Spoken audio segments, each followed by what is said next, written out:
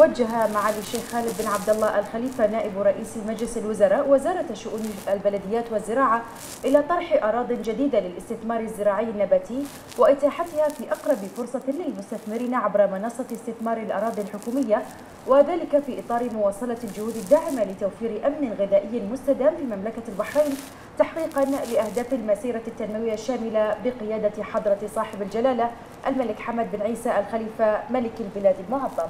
نعم حيث وقال معاليه تولي الحكومة برئاسة صاحب السمو الملكي الأمير سلمان بن حمد الخليفة ولي العهد رئيس مجلس الوزراء حفظه الله اهتماما خاصا بتعزيز الشراكة مع القطاع الخاص والرامية إلى تنشيط الحركة الاستثمارية والذي يعد الاستثمار الزراعي واحدا من بين أوجهها المتعددة بهدف رفع الإنتاج المحلي من المحاصيل الزراعية الأساسية جاء ذلك لدى تفضل معاليه صباح اليوم بزيارة إلى سوق المزارعين البحرينيين التابع لوزارة شؤون البلدية والزراعة والكائن في حديقة البديع النباتية. ولدى وصول معاليه إلى موقع السوق كان في مقدمة مستقبلي سعادة المهندس وائل بن ناصر المبارك وزير شؤون البلديات والزراعة وسعادة الشيخ مرام بنت عيسى الخليفة الأمين العام للمبادرة الوطنية لتنمية القطاع الزراعي وعدد من المسؤولين. وخلال الزيارة أثنى معالي الشيخ خالد بن عبد الله الخليفة على مبادرة سوق المزارعين البحرينيين والتي دخلت عامها العاشر وقد حققت نجاحا باهرا في التعريف بالمنتج الزراعي المحلي ودعم المزارعين البحرينيين الذين أوجد لهم السوق نقطة بيع وترويج جديدة علاوة على ما بات يمثله هذا السوق من نقطة التقاء وتجمع أسبوعي للعائلة البحرينية والتي يجد فيها الصغير والكبير ما يلائمه من أنشطة وفعاليات مصاحبة. كما التقى معالي المزارعين المشاركين في السوق وممثلي الشركات الزراعية و حي حفاظهم على هذه المهنة الممتدة التي ترتبط ارتباطا وثيقا وثيق الصلة بالهوية الزراعية للبحرين عبر التاريخ مثمنا جهودهم وشراكتهم الفاعلة مع وزارة شؤون البلديات والزراعة والتي كان لها بالغ الأثر في أن يستقطب السوق آلاف الزوار من داخل المملكة وخارجها مشددا معالي في هذا الصدد على مواصلة تقديم الحكومة لتسهيلاتها للمزارعين كمنحهم الإعانات والحوافز الداعمة لمدخلات الإنتاج الزراعي وتوفير مياه الري المعالجة للمزارع وتقديم خدمات مجانية أخرى مثل مكافحة الأمراض والأوبئة الزراعية وعدد من الخدمات الإدارية والفنية والعمل على تذليل التحديات التي تعترض هذه المهنة بوصفها حرفة أو نشاطا استثماريا. من جانبه أعرب سعادة المهندس وائل بن ناصر المبارك وزير شؤون البلديات والزراعة جزيل الشكر وعظيم الامتنان لمعالي الشيخ خالد بن عبد الله الخليفة نائب رئيس مجلس الوزراء على زيارته الكريمة والمقدرة لسوق المزارعين البحرينيين والتي تحمل في طياتها الكثير من المعاني المجسدة للدعم اللامحدود والذي توليه الحكومة للنهوض بالقطاع الزراعي وثمن سعادته توجيهات معالي نائب رئيس مجلس الوزراء بشأن طرح أراض جديدة للاستثمار الزراعي النباتي لافتا إلى أنه تم مباشرة العمل على تنفيذها لإتاحتها خلال الأيام القليلة القادمة عبر منصة استثمار الأراضي الحكومية لتلبية الطلب على هذا النشاط والذي يأتي في سياق متابعة اللجنة الوزارية للمشاريع التنموية والبنية التحتية برئاسة معاليه للخطط الحكومية. القائمة على تشجيع القطاع الخاص على توجيه استثماراته نحو دعم جهود تحقيق أمن غذائي مستدام في مملكة البحرين. وذلك وفق نظم حديثة وتقنيات مبتكرة تسهم في زيادة الإنتاج وتقليل الكلفة وتعظيم مساهمة الزراعة في تحقيق الاكتفاء الذاتي النسبي لمملكة البحرين. على صعيد متصل وتنفيذا لتوجيهات معالي نائب رئيس مجلس الوزراء ونظرا لبلوغ عدد زائري السوق منذ افتتاحه مطلع ديسمبر الجاري. ولغاية هذا اليوم أكثر من 40 ألف زائر ممن اطلعوا على ما يزيد على 75 صنفا زراعيا بكمية تقدر بحوالي 31 طنا. عرضها 62 مشاركا. فقد أعلن سعادة وزير شؤون البلديات والزراعة عن مواصلة إقامة السوق خلال الفترة المسائية في شهر رمضان المقبل. وتوسعة وتأتي توسعة مساحة السوق ليستوعب عددا أكبر من المشاركين في موسمه الحادي عشر العام المقبل 2023 هذا وإقام سوق المزارعين البحرينيين هذا العام تحت شعار حصادنا بحريني بمشاركة 31 مزارعا وأربع شركات زراعية وخمسة مشاتل وأربعة مناحل وأربعة أنشطة متخصصة في التمور وعشرين أسرة منتجة بالتنسيق مع وزارة التنمية الاجتماعية. واستحدثت اللجنة المنظمة للسوق في هذا الموسم ركنا خاصا للأطفال. كما تشارك وزارة السياحة بركن خاص يحتضن أنشطة متنوعة من بينها تنظيم فعاليات شعبية بمناسبة احتفالات مملكة البحرين بأعيادها الوطنية المجيدة.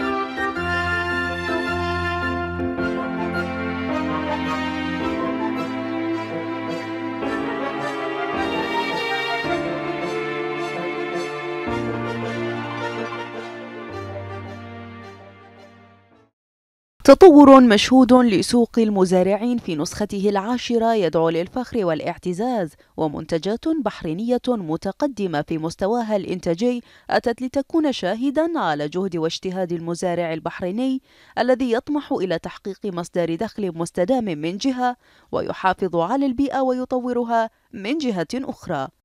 تفاعل إيجابي عكس المسؤولية المجتمعية التي يتحملها المزارع والمواطن في تطوير هذا المجال في مملكة البحرين ودعمه محليا لتحقيق الأمن الغذائي والاكتفاء الذاتي والتطرق إلى مجالات متنوعة في الزراعة.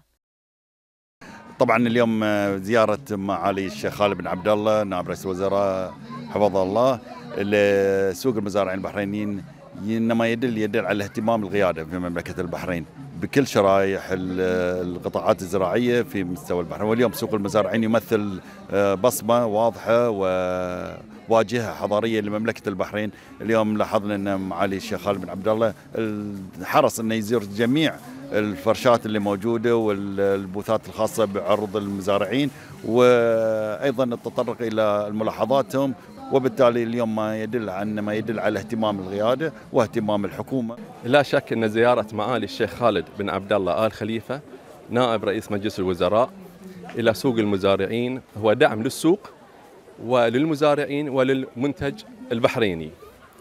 اليوم سوق المزارعين السنة العاشرة نشوف حل بحلته الجديدة ونشوف إقبال الجماهيري حقيقة اللي والأسر البحرينية وحتى المقيمين والزائرين إلى مملكة البحرين. هذه سوق المزارعين حقيقة يعني صار مكانه ثابت في ضمن المواسم. بنشوف الله يسلمك إن هناك إقبال كبير على المنتج البحريني لجودته. كان تبقيع وقع الزيارة على المزارعين المساهمين أصحاب المحلات كان إيجابي وكان يملأهم الفرح والسرور والحماس لإعطاء مزيد من هذه المنتوجات وتطوير هذه المنتوجات لصالح طبعا مملكة البحرين والمواطنين.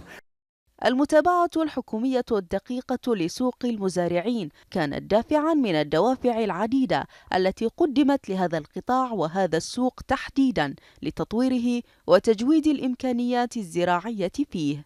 تنوع الإنتاج جدا ممتاز طبعا المزارع البحريني عنده تنوع وعنده الخضروات الفريش اللي تكون من من المزرعة إلى السوق مباشرة يعني. فهذا الشيء يحبه اولا يحبه السائح اللي يجي في البحرين والبحريني كذلك. يعني اللي يشوفه يقارن بين السوق وبين السوق هني. جبنا شمام أنواع واجد.